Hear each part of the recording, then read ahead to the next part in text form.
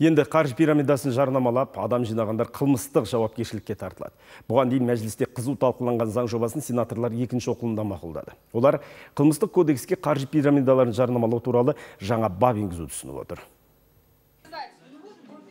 Енді елімізде ғаламтор арқылы қаржы пирамидаларының жарнамасын жасап адам тартып жүргендерге жауапкершілік күшейтіледі. Сенат қабылдаған заңда қаржы пирамидаларын жарнамалап, адам тартып жүргендерге 2000 айлық есептік көрсеткіш көлемінде, яғни 6 миллион теңгеден аса айыппұл белгіленген. Сондай-ақ бас бостандығын шектеу 600 сағатқа дейін қоғамдық жұмыстарға тарту қарастырылған. Одан бөлек қаржы пирамидаларын жарнамалауға қатысқан азаматтар 2 жылдан 7 жылға дейін бас бостандығынан айырылуы мүмкін.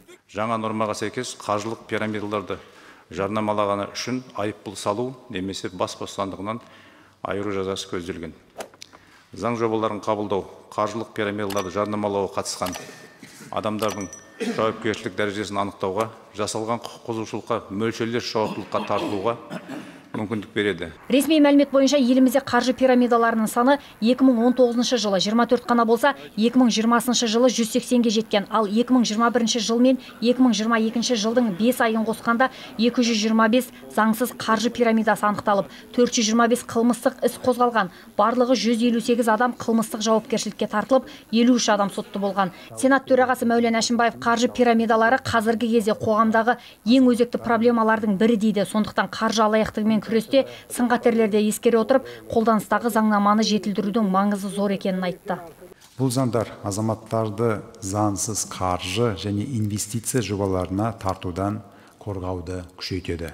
Сондай ақ жаңа нормалар қаржы пирамидаларынан зардап шеккен азаматтар арасындағы әлеуметтік шиеленісті төмендетуге септігін тигізеді деп сенеміз. Айта кетейік, бұған дейін вайнерлер Мейіржан Төребаев пен Мейірхан Шерниязов қаржы пирамидасын жарнамалады деп күдікке ілінген еді. Егер олардың кінәсі дәлелденсе, 10 жылға дейін бас бостандықтарынан айырылуы мүмкін.